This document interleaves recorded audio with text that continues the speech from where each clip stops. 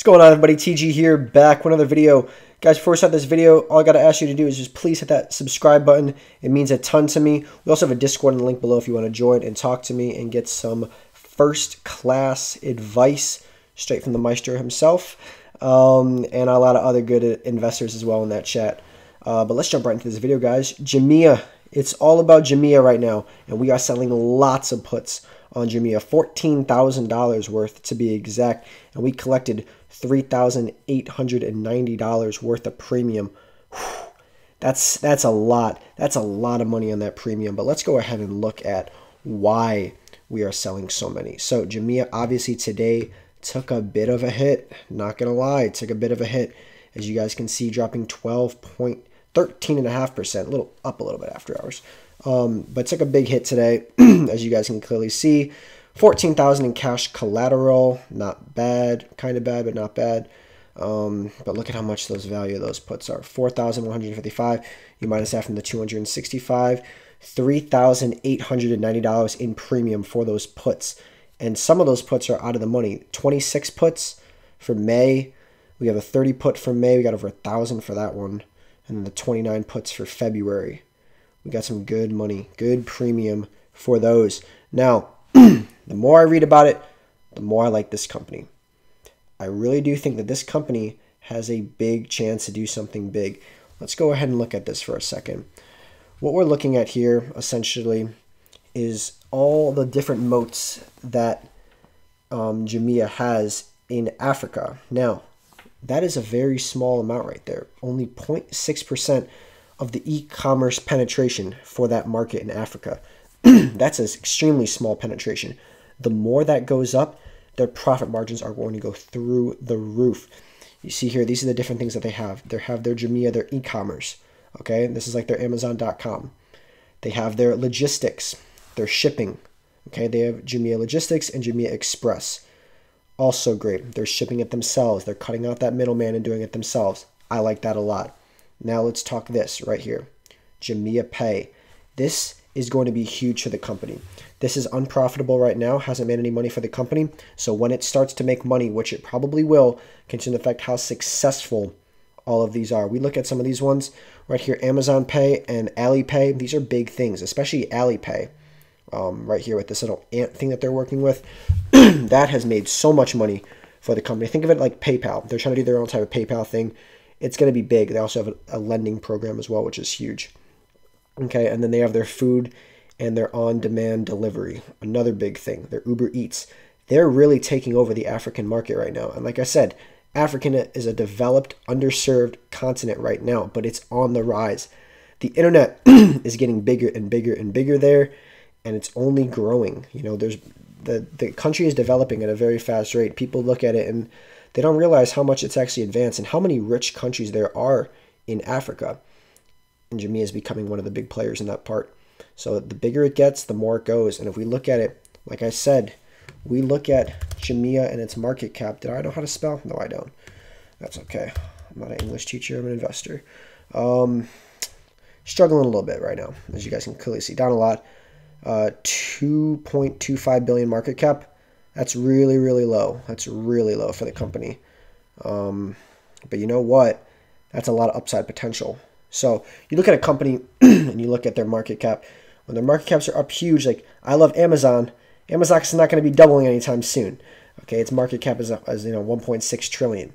Apple is 2 trillion. It's not going to be doubling anytime soon. It's going to take a very long time. This is only 2 billion, 2.25 billion. Has a lot of upside. Now, I was reading an article about it. I think you guys should take a look at this. Sorry, I'm still not feeling good. Uh, unit economics are improving, which is also obviously very good. Their gross profit per order rose by 29%. We love gross profit. Okay, profit's the best thing for a company. And while Jumia is unprofitable right now, it is on the track to becoming profitable. And stuff like this, increasing 29%, it only makes it only makes it closer to that. Now orders are more profitable, the established user base and higher ordering volume will start paying off. It's establishing itself as the brand destination of choice for brands in Africa, which is awesome. We want people staying with them. Now, another big thing, sorry guys, people already asked about the challenge. Guys, challenge starting soon. Make sure you guys subscribe and hop in that Discord and sign up under the link. Uh, so you guys can be entered in to win this big challenge. Um, but this is another thing. Jumia's pay transactions accounted for 34% of total orders and 90% of transactions over $10. So the payment volume is rising 50%, which is huge, while the on platform penetration top 26%. We like that. We like those numbers increasing. Like I said, it's not going to take much for this company to reach profit, profitability as e commerce increases. And it won't even need to rely on Jumia Pay to do that, monetizing it. If they do monetize it, it's only going to increase that.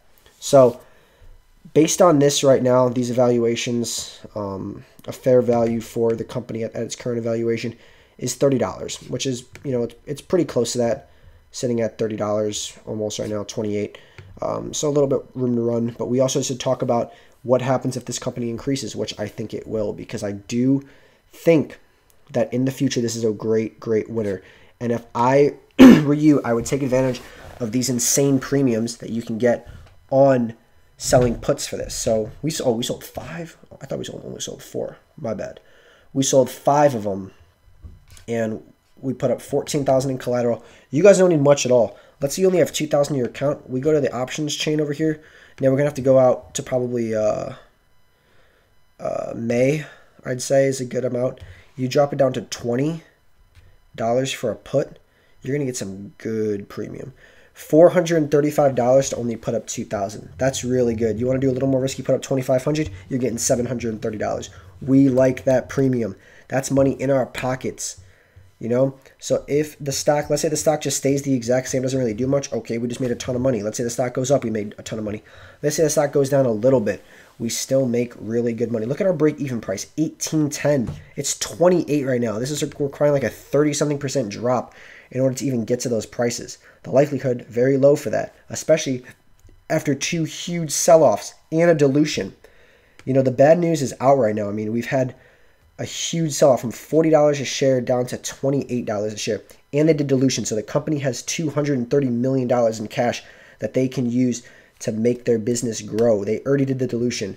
Okay, so now we're going to see if them putting that money to use and making this company grow more and more. The more I find out about this company, the more I like it. The more I think you should, you should take a small position in it. Okay, depending on your account size. Obviously, if you ever you only have two thousand in your entire account, maybe don't risk your entire account on this. But you know, see what you can do. Maybe play it if you want to wait a little bit and try to get some good percent gain. I mean, you're making 25 over 25% on your investment to sell a put on it, which is very smart. I'd recommend that a lot more than just buying shares outright right here. I'm not trying to hit a home run on this thing, um, but you know, with the amount of money I'm making from these premiums, it's like hitting a home run. Almost four thousand dollars to put up fourteen thousand dollars.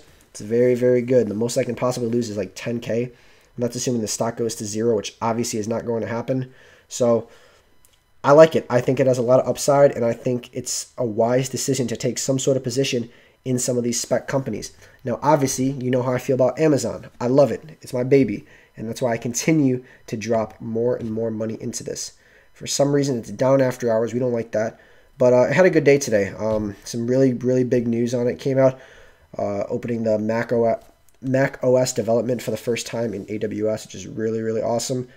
And, you know, AWS is just, it's just going to continue to grow. It's their cloud storage, and it's, it's a thing of beauty.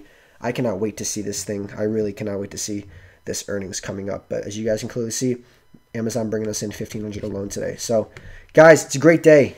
It's a great day to be alive, great day to be blessed um, to be in this market. And I hope you guys are taking advantage of some of these good opportunities that present themselves. So, that's all we're doing right now. Jumia, Apple, and Amazon, and obviously CBM.